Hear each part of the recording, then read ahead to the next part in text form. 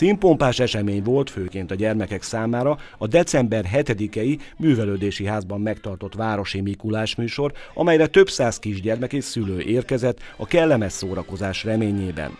Nem is kellett csalatkozniuk, hiszen tartalmas programot kínáltak a fellépők a délelőtti rendezvényen egy zenés mese musical előadásával.